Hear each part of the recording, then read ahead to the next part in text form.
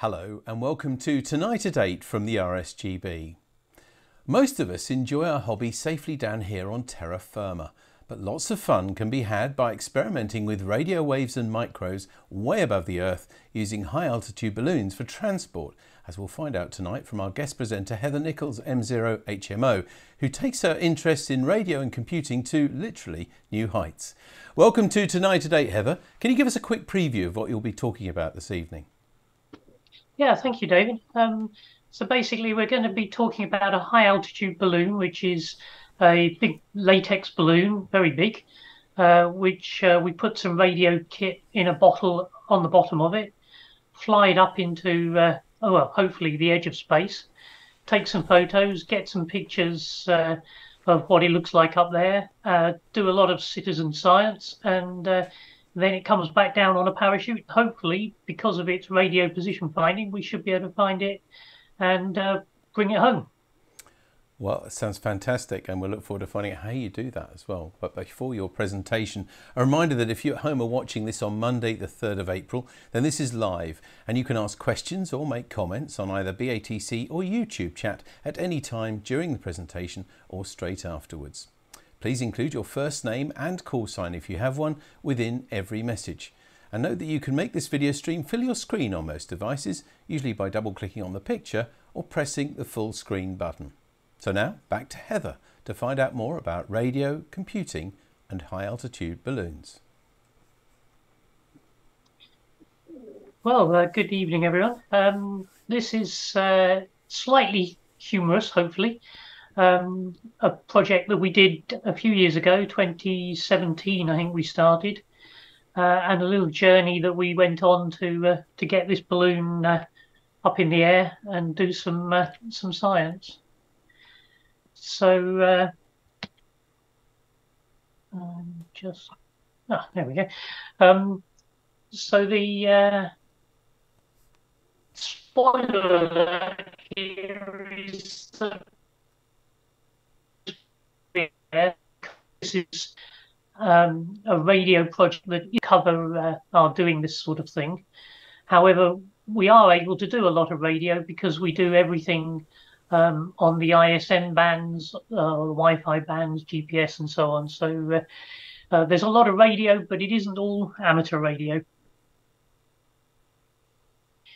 So a quick overview of what we're going to going to look at. Uh, overview, obviously. Um, we uh, we did this project with the Shropshire Linux Users Group with the unfortunate acronym of SLUG. And we decided originally that we were going to call the balloon the Sheep Worrier because there were a lot of sheep around and uh, there's a lot of um, a big white balloon floating around in the skies. Uh, but of course, uh, it didn't stop there. So then we went on to invent all sorts of other things, which uh, we kept the uh, sheep and farming naming convention going. So uh, we'll talk about all these other weird things. We'll talk a little bit about what we did with it, with the STEM and the outreach side of it, and then finally the pictures uh, from the balloon and uh, how it actually did its thing. So, um, quick overview: Sheep Worrier is the actual balloon. So this is a big latex balloon uh, with a um, payload uh, attached to the bottom of it, which uh, will do all the radio transmitting and all the science and all the rest of it. Um, then the sheepdog. Um, there's a picture of our car. I wish. Um, this is uh, this is a car that we basically we have a radio uh, with an antenna on the roof, and we rush around underneath the balloon trying to uh, keep track with it, and uh, eventually, when it lands, we will uh, find out where it is. From. It's sending its GPS lo- lo- coordinates, and uh, so we yeah we rush around after it. Uh, we then um, decided that once it's on the ground, we needed an interesting solution to actually uh, locating it from the ground, because of course uh, you won't have line of sight to it, which is not so good for low power radio. So we invented this thing called the sheepdog puppy, which is basically uh, a little ground station receiver uh, that will help us find it. And um, in the event that we couldn't find it easily, we invented this thing called the shepherd, which was a little uh, PCB that we had made up, uh, which will allow us to have another tethered balloon, and we'll talk a bit more about this uh, this in a minute, uh, which would then we would put up, and uh, hopefully it would then have line of sight to pick up if we were having trouble uh, when we are on the ground. So um, why do it? Well, it's the edge of space, which for a lot of people is is a really interesting place to be. Um, it's uh, we went. I think we did 32 kilometers was our highest. It's a pretty harsh environment. It's very cold. It's very uh, low atmospheric pressure. Um, you can do some lots of interesting science on the way up and the way down. But really, the, the big deal here is that we can do it because we can. It's another little thing to do with radio. It's fun. Uh, a little graph there just to show you that the, the, the atmospheric pressure really does drop considerably. Um, if you're uh, working in uh, in atmospheres, it, it's almost zero. Um, it goes down, I think, to about 50 uh, kPa. So let's talk about the the actual uh, thing that we send up. So it's it's based on a Raspberry Pi Model A, if anyone remembers that from many years ago. Um, we've got this thing called the Pi in the Sky tracker board, which is basically um, a little RTTY radio board with an attached GPS receiver.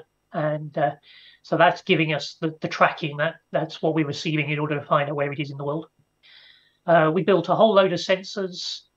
We needed some thermal insulation because electronics and cameras, etc., don't like working at minus 55. Loads of software, a big balloon, a parachute so that when the balloon bursts, um, it uh, it won't just hurtle down and land on somebody. And uh, we used a couple of pop bottles, and we'll uh, we'll uh, take a quick look at that. So uh, drink the contents of two Pepsi bottles. Uh, other brands are of them. Cut them in half so that the uh, they can fit over each other. Put some string between the two. You can just see on the right hand side of that picture a bit of string sticking out, and that's connected to the top of the bottle. And uh, you tie it all together. this does two things. The, the interesting thing is that it provides insulation. So the sun up there, obviously, there are no clouds. The sun is shining in through the uh, plastic. It heats the air inside, but as with most uh, greenhouse type effect, uh, the heat doesn't come back out. And along with the heat generated by the Raspberry Pi, uh, this should give quite a, a, little, fair amount of um, insul- insulation. So keeping the thing warm inside whilst it's minus 55 on the outside. You can see there we've got the compulsory uh, uh, reward if anyone finds it, um, with uh, a little bit of packing. Um, mostly this is so that when it lands, the electronics won't jiggle around too much inside and damage itself, because obviously we want it to survive the landing and keep transmitting its location. So uh, a little bit about the uh, the vital statistics. What's actually inside this thing? Well, we've already mentioned there's a, a big latex balloon, 600 grams, so it, it's quite a heavy piece of uh, balloon. It's not your average everyday party balloon, filled with helium. Um, we did think about using hydrogen um, for our first couple of attempts. We decided not to because of the risks. Uh, but helium is obviously uh, a scarce resource in the world, so we will be going to hydrogen uh, fairly soon, I think, for for this project. Uh, the balloon is a one meter diameter. We'll see some pictures of it uh, later on at sea level, but it grows to about 10 meters uh, before it pops, hopefully at whatever um, 25 to 30 kilometers up.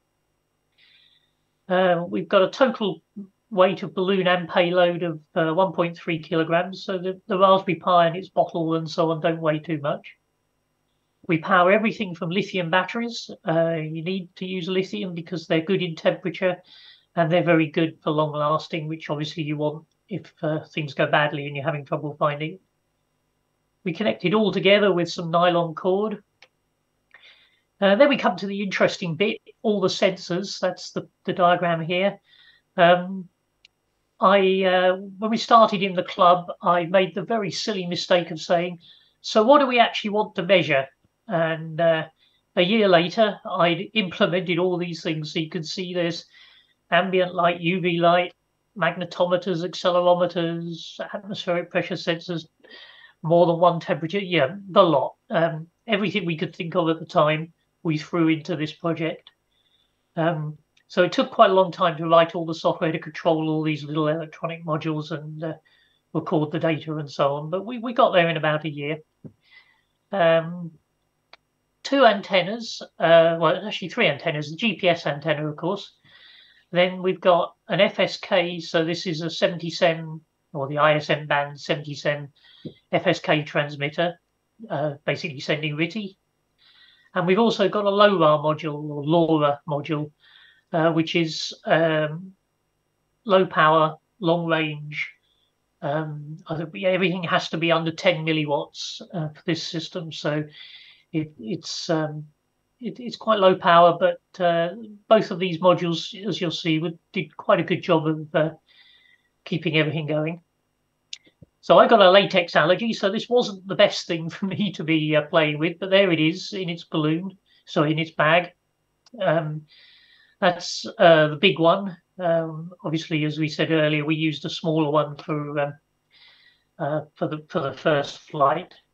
Um, lots of calculations needed to get the right amount of helium, the right amount of uh, balloon size of balloon, the right size of parachute. It's all available online. I won't bore everybody with the maths, but uh, there are all sorts of calculators online to uh, to work this sort of thing out for you.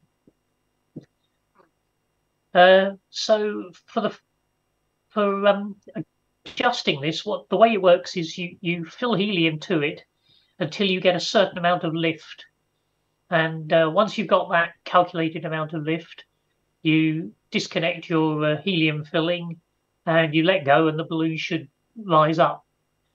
So we we made this uh, this little apparatus here, which is basically it connects to the balloon uh, through that bit of white um, uh, plastic tubing in the middle there.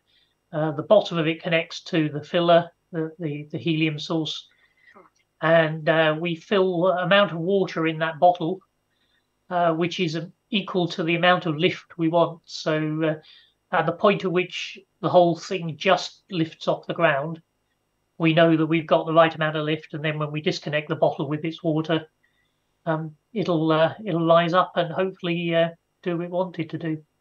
Now the reason we went to these extremes is the first one we did we got it wrong, and it didn't go up as fast as we had hoped.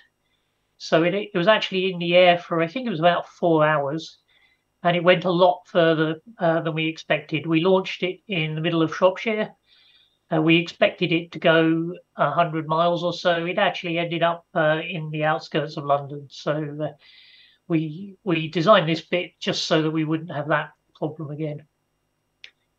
So there's an example of some of the uh, the helium. You can get lots of different sources of helium. That's uh, one we used for our second helium fill. Uh, we used a standard helium bottle for the first one. So uh, my worthy assistant, friend Ian, uh, holding the balloon just before we uh, released it, um, obviously, you don't want to be touching this thing because you're going to get all sorts of oils and things from your fingers on it, which are going to potentially damage it. So we wear latex gloves um, to uh, to hold on to it. Um, so as you can see, it's about a meter across when it's just about ready to go.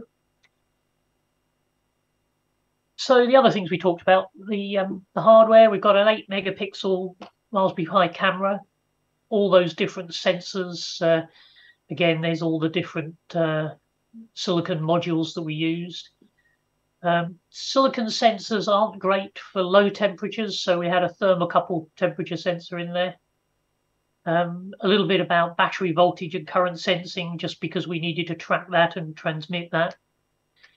And I think I mentioned that we've got a low LoRa radio and a uh, uh, 77 ISM band FSK radio.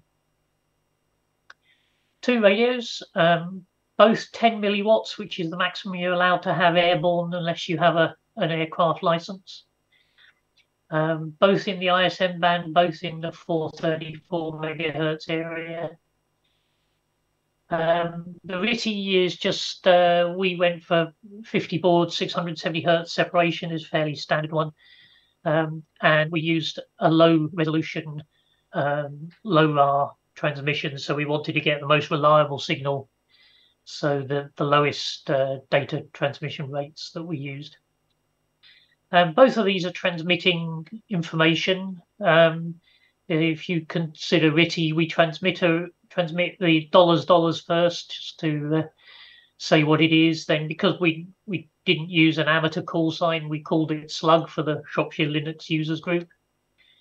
And then you can see a whole load of useful information that we were uh, transmitting. There's serial number of the message, that's the 16, the time, latitude, longitude, altitude, um, various other things, battery voltage, atmospheric pressure at the end. Uh, so this was just a small subset of the data that we were transmitting. And right at the very end, you, that 5486 is a, uh, a checksum uh, just to make sure that the message has been received correctly. So that was the uh, the RTTY sentence. The LoRa sentence was similar, but we put a lot of different information in that, so that between the two, uh, we should be able to collect quite a bit of the information that was being transmitted. Mentioned a bit about the software. Um, the Pi in the Sky was uh, designed and written. Uh, the software was written by he lives uh, south of here, Ross on Wye, I think, somewhere around there, and he's still doing balloon launches as far as I know. So uh, he's a good guy to uh, chase up on the internet if you want to pursue this uh, further. Um, lots of interesting things. We want auto boot and auto restart so that if things do go wrong and the batteries get joggled or something, a disconnect, it will always restart and get start off from where it was. So because obviously you can't reconnect batteries when you're um, 20 kilometers away from the thing. And then we did all the uh, custom code for all those sensors. We developed our own LoRa code, and uh, we've all put it all onto a, a big Git repository. So uh, if anyone's interested, uh, they can get in touch with me, and I can point them at all the code we wrote for all that. So then there was this interesting thing, the shepherd. Um, so what our idea was that uh, if the balloon has landed, it's come down on its parachute, it's sitting somewhere in the middle of a, a wood perhaps, and we're not getting good radio reception from it because we can't uh, see line of sight. Then what we'd like to be able to do is put up a tethered balloon. So this is a similar helium-filled balloon, but just a small one. Um, put that up with a basically a Wi-Fi relay. So you can see on the right-hand side of this board, there's a, a little 77 coil antenna. It then receives the LoRa uh, signals in that module in the middle, and it then retransmits them um, through the bottom right-hand SMA, which is just going to a, a little uh, dangling 77 um, quarter wave or 5 eighths wave radio. And in the middle of that uh, blue module there is a Wi-Fi module. It's one of these ESP chips. And so basically all this does is receives the Wi-Fi, decode, sorry, receives the LoRa, decodes it, and sets it up onto a Wi-Fi web page so that people sitting below uh, where they don't have line of sight will be able to receive the web pages from this module and uh, get all the um, the data from hopefully the line of sight which that antenna is is giving us. So uh, this was quite a good project. We used it to learn um, about making our own custom hardware uh, in the Linux users group, and uh, so we we did all sorts of good things like training courses for the uh, learning Eagle, which was the CAD program that we used. Uh, the thing on the top is just uh, power supply, and the thing on the right hand side, the big black thing, is just the programming module that we use to program up that uh, Wi-Fi chip. So the internals of this, uh, like I said, it's got a LoRa module, it's got a 2.4 gig Wi-Fi module, programmed with Arduino IDE, and uh, it's acting as a relay. So uh, we uh, we originally we did everything in Eagle, the CAD program, uh, but we've now moved over to uh, KiCad, which is open source. So uh, again, all of this is available if anybody wants any of it, if they're interested. So there it is. That's the the uh, website that is transmitted from this. So you can see that the, the last uh, thing it received was uh, this message, and you can see the different information in in the bulk of that sentence. And the the website is just extracting some of that interesting information for display. So um, when you're running around after this balloon, this this is actually really good fun. Um, it's it's a most of the day that you, you get all the fun of filling the balloon and letting it go and seeing it rush up into the air, and then sit on the uh, in the car, somebody driving, the other person with the uh, 77 antenna on the roof, receiving the the RTTY, getting it on the screen, typing it into sat navs, and it tells you where to go or working out where it is on a on Google Maps and uh, and then chasing around after it and trying to plot a route that keeps you uh, on the motorways because these things can move quite quickly. Um, so uh, yeah, so we we uh, we had it running on uh, Android mobiles. We had it running on Windows 10. We use this program DL FL. People are familiar with digital modes. FL Digi is uh, a fairly standard uh, digital mode that does a good job of RTTY. But there's a, there was a special, well, there still is a special version, the DL uh, which we'll we'll mention in a bit. Um, it's quite a useful additions to that um, uh, to to the the Windows um, based uh, thing running on my uh, FT857 in the car. We had uh, obviously we've got a, a vertical just a mag mount on the roof. Uh, but we also had a another antenna which was connected to the uh, the sheepdog puppy, which we'll talk a little bit about in a moment. Um, so this is the uh, FL Digi. People will be familiar with what it looks like, um, but this little uh, this particular version has a mode where it can retransmit the data over the internet to uh, the Habhub, which was unfortunately was um, a, uh, a great resource for, for helping to track these balloons, but we'll talk a little bit about that in a moment. So there you can see it's been receiving um, the balloon. It's uh, eight o'clock in the evening. It's received 530 something uh, transmissions. Um, and uh, the usual witty sort of stuff. You can see uh, the, the waveform at the bottom, and we've aligned the crosshairs and and so on. So uh, this Habhub tracker, which unfortunately isn't there anymore.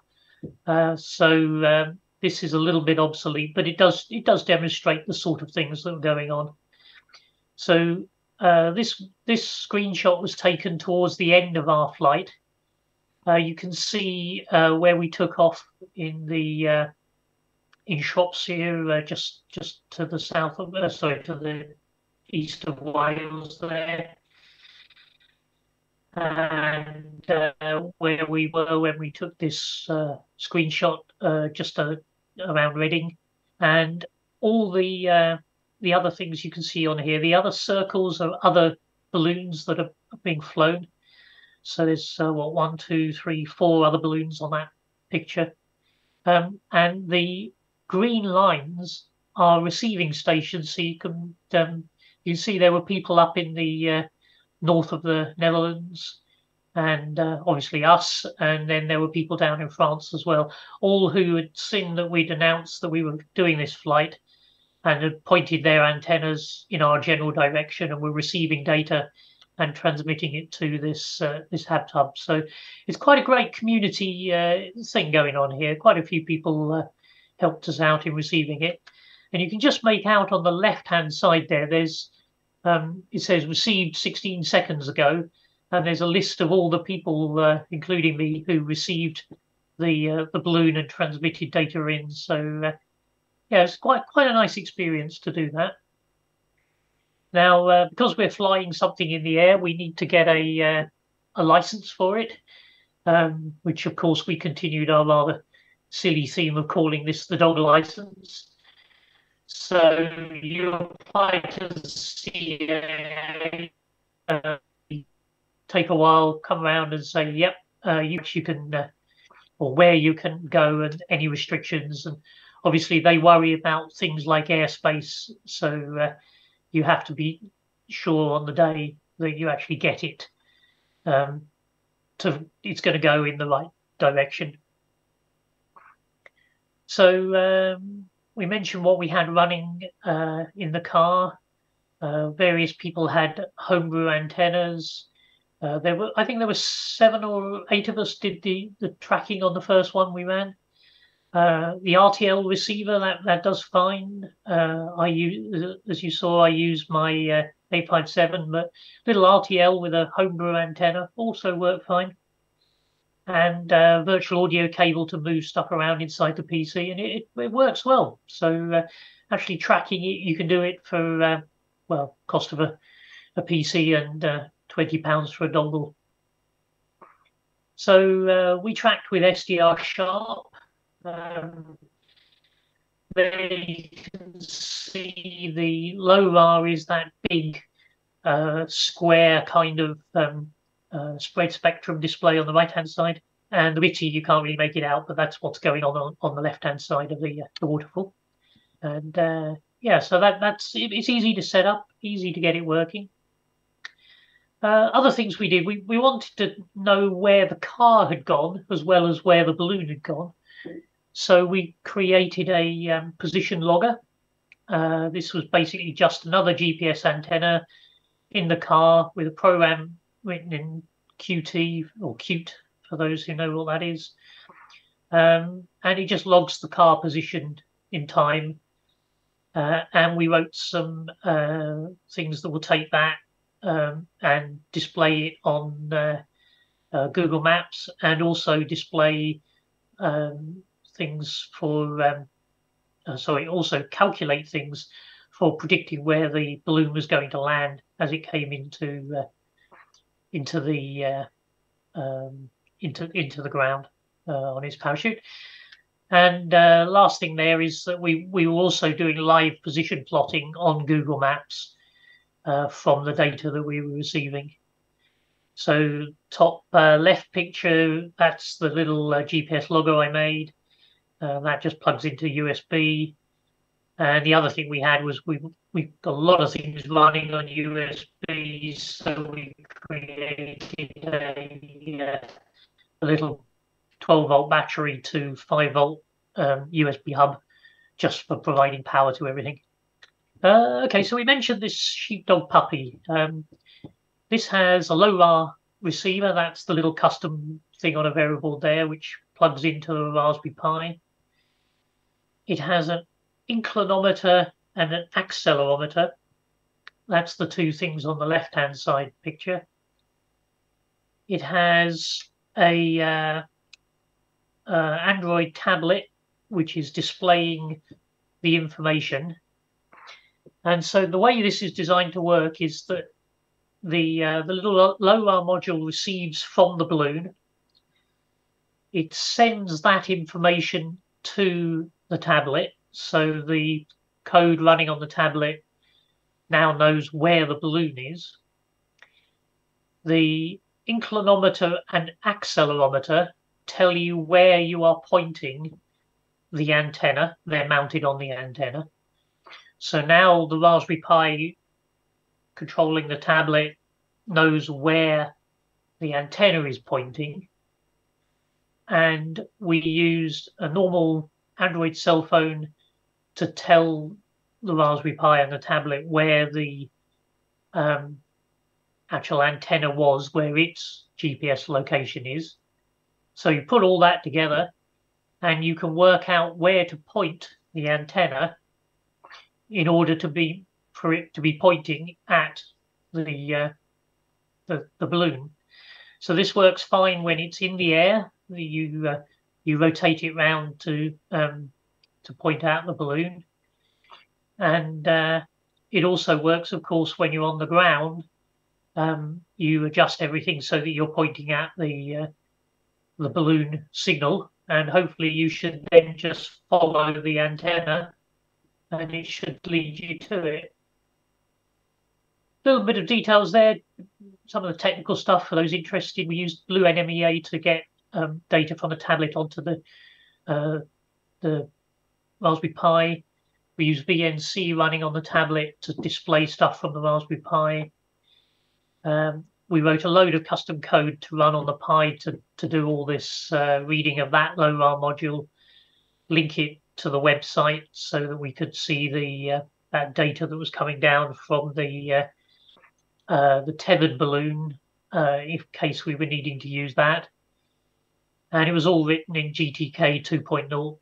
Uh, and we actually created a LoRa test suite for this thing as well, which we uh, we took up to uh, a local hill around here and tested it um, remotely so that we could evaluate all the LoRa code.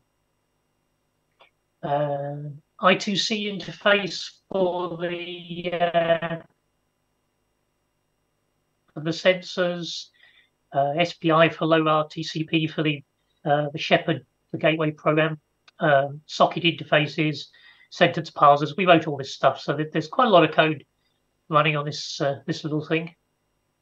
And uh, finally, uh, that's the display you get on the um, on the the uh, tablet. Um, inspired by the film Aliens, if anyone's uh, seen that, where they have a little handheld tracker and it, it tells them that all the nasty aliens are about to attack them.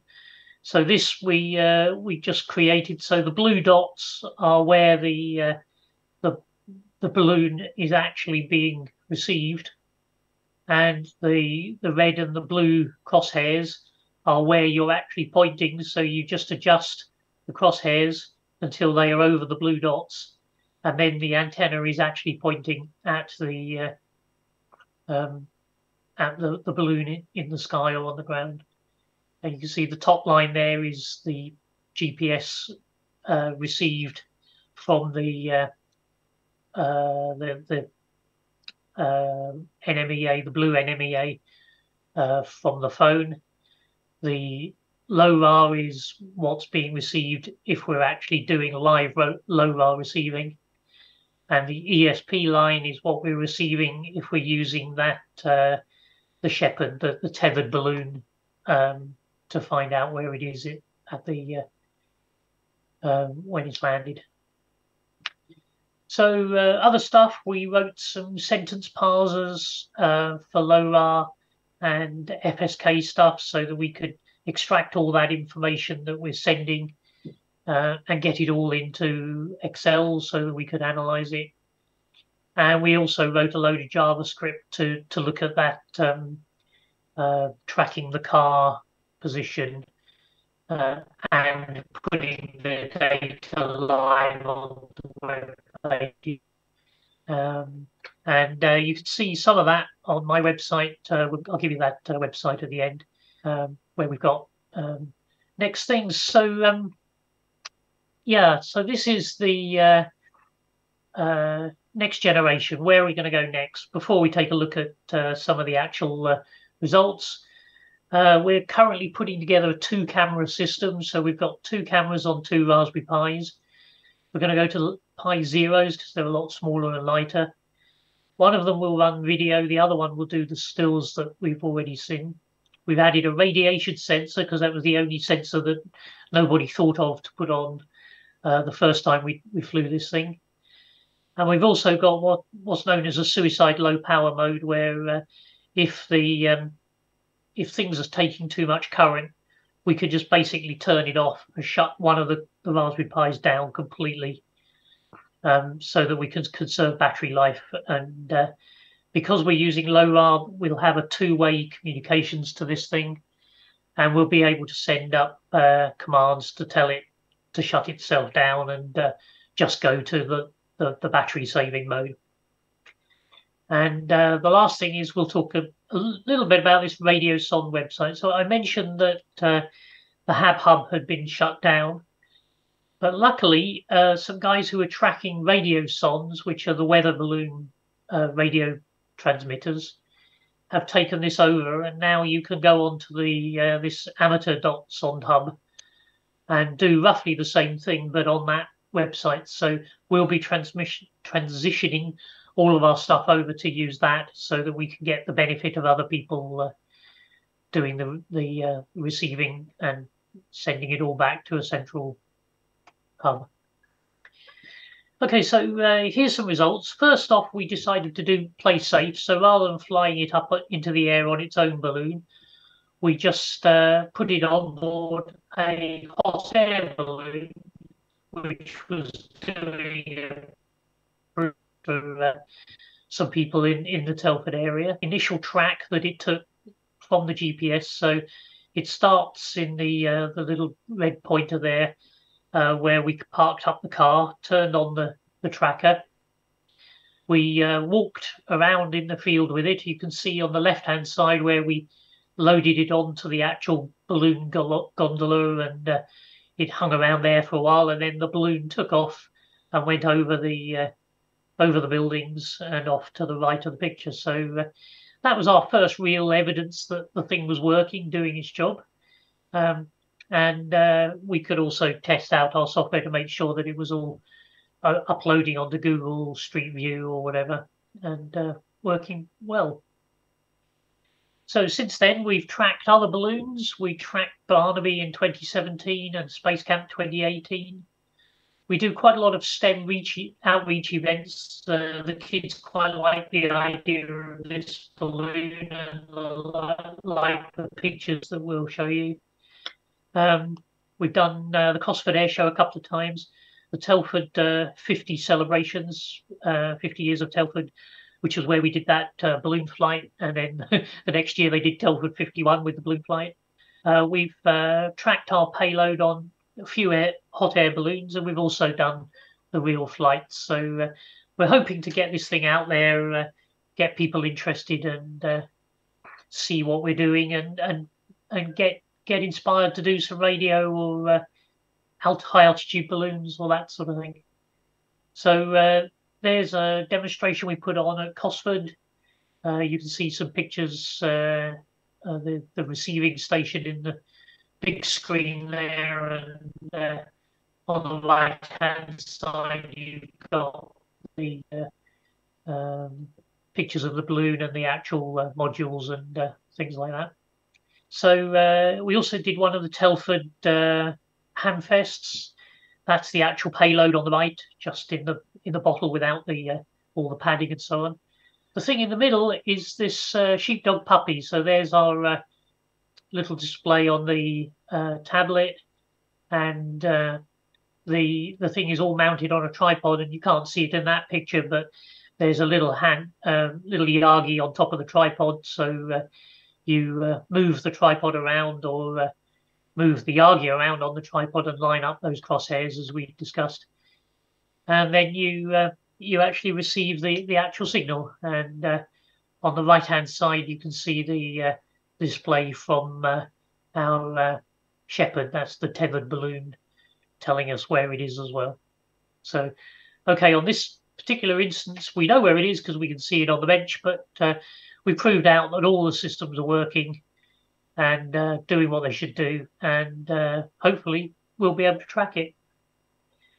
So one of the flights we put hot air balloon, uh, we put the, the payload on the outside of the hot air balloon, and I'm rather pleased with that picture. Um, obviously, we were one of the first ones to go, but there's all the others down in that uh, field that we uh, saw on Google Maps earlier. And uh, yeah, we got some quite good pictures. So done all that. It was all working, and so we did our first flight, Slug One, and uh, now we'll have a quick look at the pictures that uh, we got from that. So, first picture that was the balloon. There's its parachute. Um, it's just sitting on the table, waiting to have some uh, uh, uh helium put in the balloon and, and ready to fly off over the UK. And we let go, and there it is. So you've got the balloon up top right hand side, obviously. Uh, quite a lot of nylon cord. It has to be particular breaking strain nylon so that if a plane uh, flies into it, it won't do any damage. You've got the parachute uh, a little way down from the balloon, and the balloon isn't shown on that picture. Um, there it is. The balloon just come off the ground, and the parachute quite a long way away from it. So uh, again, you need a reasonable length so that you can a stabilize the thing, and b so that if a plane flew into it, it would snap it rather than uh, get tangled up in it or anything. And it it is it, it's reasonably good nylon cord, but it will break, um, and it meets all the the CAA's requirements for uh, for what you do. So here's the pictures from the, the Raspberry Pi camera. So that's a picture of our farm where we let go. And uh, then uh, that's uh, the Wrekin, if anybody knows that in Shropshire. So this is uh, getting up towards the first cloud layer.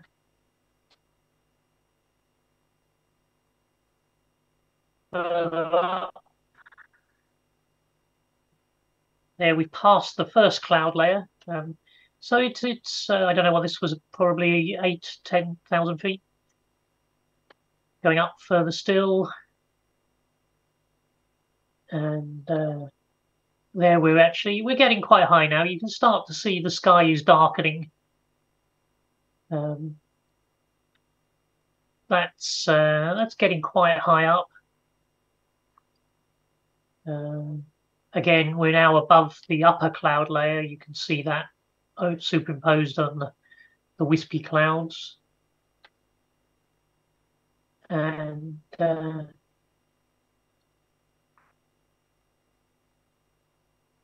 that's one of my favorite pictures, not because the picture is particularly good, but because if you look at the top right hand side, you can see the moon. So, uh, yeah, that gives you a, a, vague idea of the scale of the thing and uh, a little bit of a, a astronomical picture from uh, quite high up. So, uh, you remember we were tracking it with that tracking program. And when it went into the jet stream, at about uh, 20,000 meters, 20 kilometers up. It did this little wiggle um, just uh, just outside uh, Oxford, I think. Um, so yes, interesting trace that you can see. It it, uh, it was flying along and then it went round and around in circles, and then it got uh, down towards uh, London, as as I may go that far, but uh, it did because we we didn't get enough helium in it. So we were parked up somewhere near Oxford when it did that.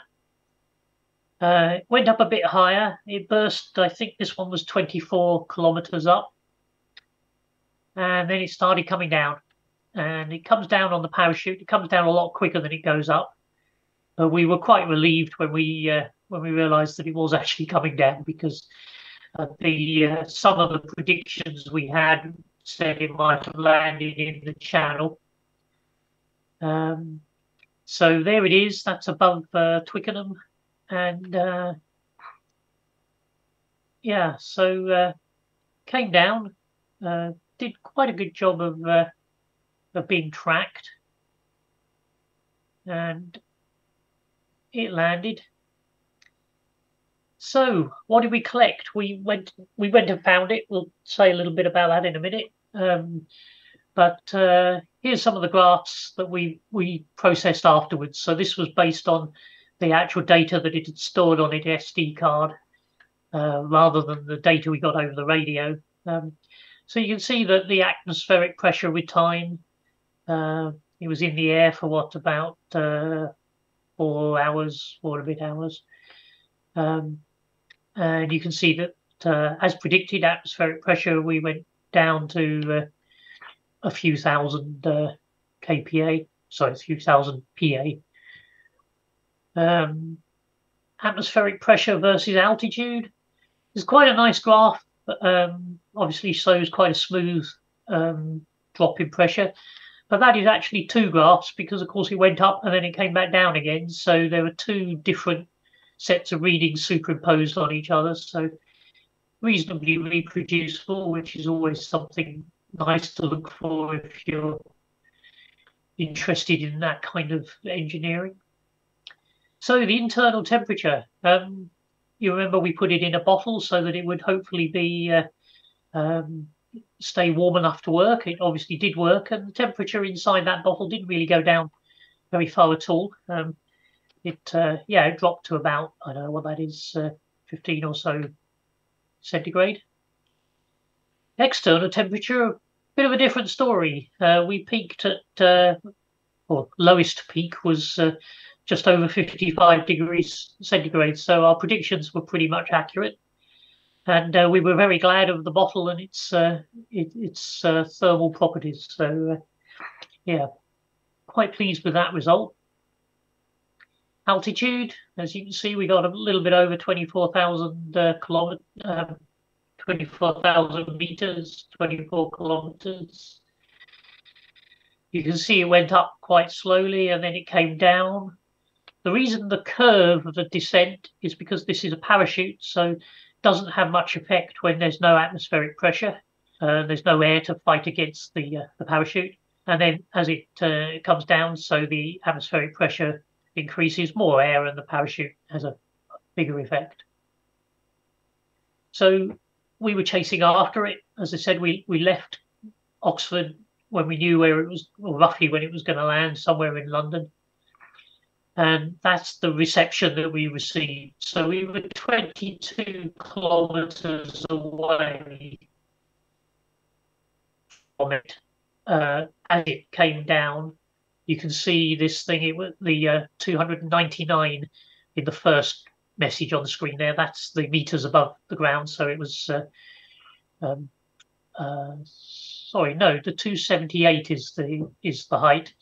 Then the 193 is the height, and then it got a bit confused. So we don't know what we actually received uh, as it went down so low that we didn't have line of sight and we couldn't receive it. But you can see those last two um, prediction uh, last sorry last two latitude and longitudes and uh, we could use those to predict where it was going to come down because we know the rate of descent so i plugged everything into a bit of excel and we predicted that uh, so that was the the last actual flight received on that uh, hub tracker and we predicted that it was going to land on this uh, byway um, road uh, somewhere along it. Uh, so we uh, we headed off in that general direction, and that is a, uh, a little Google uh, um, street view of that street. And okay, I admit to doing this after the fact, but that's what Google said the balloon should see. And there's the picture the balloon actually did see. So uh, there it was outside that house, lying on the road. And luckily for us, a couple of cyclists came along. And again, the balloon took a picture of their uh, their bicycle wheel as they said, "Oh, wonder what this is." Picked it up, saw my phone number, gave me a ring, and uh, my husband and I, Paul, we were about ten minutes away from it at the time and they said, "Oh, we're just going to this place. Uh, we'll meet you there, and uh, we've got it safe and sound." And uh, they were very nice. They wouldn't take the reward for it uh, as long as we uh, we uh, explained it all to them and um, put some details in our presentation about them. So they didn't want their photo in, but I do have photos, and I was very thankful to them for collecting our our balloon when it was on the ground. So uh, we felt that we uh, we should do it again. So here's some more pictures. These are just the highlights. Uh, this is um, you can see the the sun. We did it later in the day. The sun shining off some water there, uh, giving us a nice impression of the uh, the clouds. And uh, there it is, actually looking into the sun, but it was getting a bit uh, later in the evening. I think that is uh, Coventry Airport. I don't think that's Bristol Airport. Uh, but uh, we we were okay on our flight path, so uh, they didn't. Compl- nobody uh, was complaining about it, and we didn't go anywhere where we shouldn't have done. That was the last picture the uh, of the setting sun that the balloon took uh, while I was sitting in the field, and that was the picture I took of it when we found it in the field. It was quite dark at that point in time. Um, so uh, yeah, so there it is with its Raspberry Pi LEDs glowing somewhat demonically in the field. And uh, so we, we picked it up and we took it home. Uh, on the way, of course, we stopped for a compulsory uh, meal out and some drinks and congratulate ourselves. And I'll leave you with that picture, which was from the uh, the second flight, which uh, I think is is rather a nice picture. Um, lots of uh, visible countryside down the bottom, and still got that lovely black of the edge of space. So, any questions? Well, thank you, Heather. Um, uh, I'm sure I'm not the only one watching this who's quite mesmerised by some of those pictures because somehow the rest all seemed not not implausible, but you know what I mean. It just seemed, yeah, that's okay, and experimenting, putting this up, but suddenly you you have a feeling of just how high that really got. So it's fantastic. Anyway, uh, if you've been watching this at home and you've got any questions or comments, now is the time to ask them. If maybe you've done something similar or you've done some remote control type of um, you know, activities with this sort of thing, with radios and uh, Raspberry Pis and things like that, do get in touch now. You can ask them either on YouTube chat or BATC messaging. And please don't forget to include your first name and your call sign as well, um, if you have one. So Heather, um, where do I start? Because I've got lots of questions. I've been scribbling them down here. Um, one of the things I was going to ask you was the weight, because you said you had to get a CAA approval for this. So I presume apart from that nylon cord, which had to be something specific, I presume there's a maximum weight as well, a payload that both the balloon would take and that you'd be allowed to fly. Yes, there is. Um, I can't actually remember off the top of my head what it is.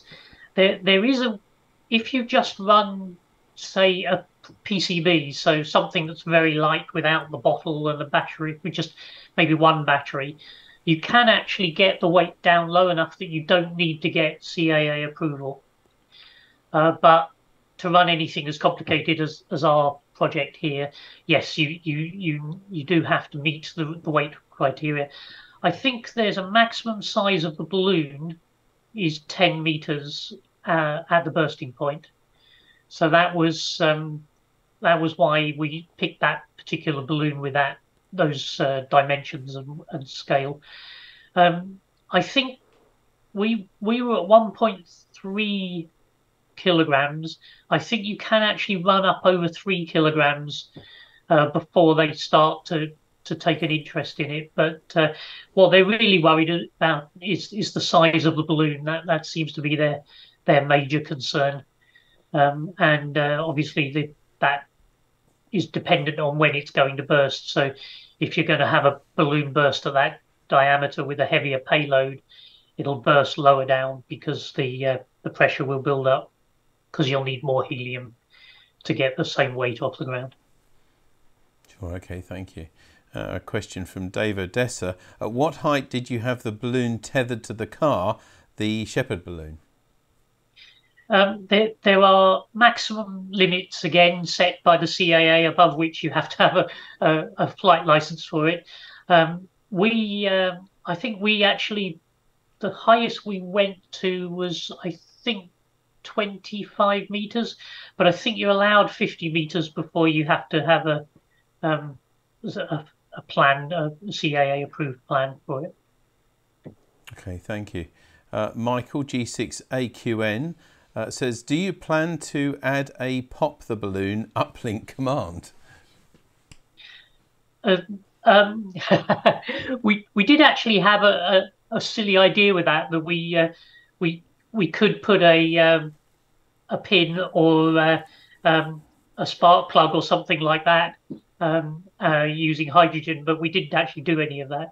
Um, it uh, it it isn't really necessary to to, to have a pop command because it will pop eventually um, as long as you've got enough helium in it. And uh, so, uh, yeah, we, we, we did think about doing it. Um, we might we might do it for fun because we do have the low LoRa uplink. So uh, um, we we did talk about other uplink things. We um, we thought about doing something so that we we could uplink people's call signs and then it would downlink them on the radio as a sort of thank you to them, a little calling card from the edge of space kind of thing. Um, so uh, yeah, well, there are there are fun things we might play with uh, within in in the uplink world. Yeah, that does sound fun. In fact, instead of pop, I wonder if you'll put something to keep the dog analogy going. Maybe you'll have claw or something like that. it sounds likely, doesn't it? It does. Yeah. It sounds. I mean, so much fun. This sounds like. I mean, this. You talked about yourself and your husband doing this, but I guess there's several people probably involved with this because there seems to me a, a lot of skills, a lot of things to learn, uh, and you know, to in, to build a project like this up over well a year or so at least. So, I mean, how many people were roughly involved with this? Um, if if you exclude all the people that did the, the commercial stuff, like David Akerman, um, then there were four of us who did real work on it, uh, making antennas, um, specifying the balloon. I did most of the electronics and the software. Um, you saw uh, Ian holding the balloon early on. Uh, friend Dave, who uh, did some of the tracking. Um, John Alexander, he was uh, he was very key with a lot of the, the momentum behind it all, and he did some of the uh, tracking as well. So uh, yeah, I think that I think there were six or seven people in cars uh, on the first one running around after it, and they'd all been involved in some way or other um, during during the project lifetime. Yeah, no, I apologise if I missed this point. I did see a few um, kilometre things mentioned, but what was the range of the live transmission stuff that you had roughly between the balloon and, and Earth? What was the maximum range roughly? Um, well, there, there, was that one um, up in uh, Northern Europe in North Netherlands. Uh, so at that point, I guess it, I don't know how far the Netherlands is away, um, three or four hundred miles, I guess, uh, yeah. maybe more um, and the balloon was about 25 kilometers up. 25 kilometers, wow. And that's all on 10 milliwatts. Isn't that fantastic to think you could transmit that far? If only it was that easy on, on terra firma to transmit that far. Um, yeah. You know, with 10 milliwatts, none of us would need the linears and things like that at all to talk to the whole world. But no, it sounds a fascinating project. Now, you've talked about, I can't let you go without um, talking about this new project because you've talked about having another version with maybe two cameras, I think, video as well, yep. I believe. So, how far is that plan progressing? Um, we've we've specified most of it, um, and we bought some of the bits, and uh, John Alexander is actually spearheading this one. Uh, he's uh, we've got the uh, um, uh, radiation sensor sorted out and we've uh, we've written some software to play with that, and we've got the Raspberry Pi for the video camera bit sorted. We've designed up this suicide thing, which is basically just effect with the on the batteries, so that we can turn off parts of it completely, or it can turn parts of it itself off. In fact. Um, and uh, yeah, we're basically we're, we're hoping in the next month or two to get somewhere, and then uh, over the the summer we'll uh, we'll get our application into the uh, CAA to get a, a flight plan. Well, I, I, do hope that goes well. Do keep in touch with us because I think if you do this, and especially with some video, this will make a, an excellent follow up to this webinar, Heather. Um, I think we've virtually covered most of the questions and things that we've had. I really want to thank you for bringing this to us tonight. It's a little bit different, you know, it's something, yeah, being a radio amateur will help to understand the, the radio aspects and maybe some of the other things like data and things. But I mean, combining them in such a fun project as well with this is a really great. I think one thing I must ask you just before we go though, so nobody's worried at home. You talk, you you title this talk "The Sheep Worrier." Were there any sheep worried by this in real life? Uh, there weren't. We uh, um, we we we live on a farm here, and uh, we ensured that all the sheep that um, may be in the area were um, they're actually owned by a local farmer, and we made sure that they weren't anywhere near us when we uh, when we or cattle, in fact, as well. So uh, no, there, was there was no no no sheep were harmed in the in the making of this this presentation. I think that's what I was getting to. Thank you very much indeed, Heather. Thank you. Lovely, lovely talk. Thank you very much. Thank you. And now that concludes this webinar and thanks once again to Heather Nickalls, M0HMO, and also to the RSGB team who helped put this series together behind the scenes. We hope you've enjoyed this tonight to date and that you'll be able to join us next time when Jack Purdum, W8TEE, and Al Peter, AC8GY, will join us live to talk about their high performance CW decoder project. If you'd like to see details of future webinars or watch recordings of previous programs in the series, please visit rsgb.org forward slash webinars, where you can also send us comments and feedback. And before I go, a reminder that the RSGB's annual general meeting 2023 will be live online from 10am on Saturday the 15th of April. As well as the results of the board director elections and the formal business of the AGM, there will be a review of 2022 by the RSGB president and a, present, and a presentation by the RSGB Propagation Studies Chair, Steve Nichols, G0KYA, who will talk about the, how the weekly propagation forecast is put together. Now, if you're an RSGB member, do use your vote in the elections. More details are on the RSGB website at rsgb.org forward slash AGM. And finally, a tip that if you subscribe to the RSGB's YouTube channel, you'll be notified of all upcoming Tonight at 8 webinars, as well as other new videos and presentations from the Society on a wide range of amateur radio topics. So until next time, this is David G7URP signing off and clear. Bye bye.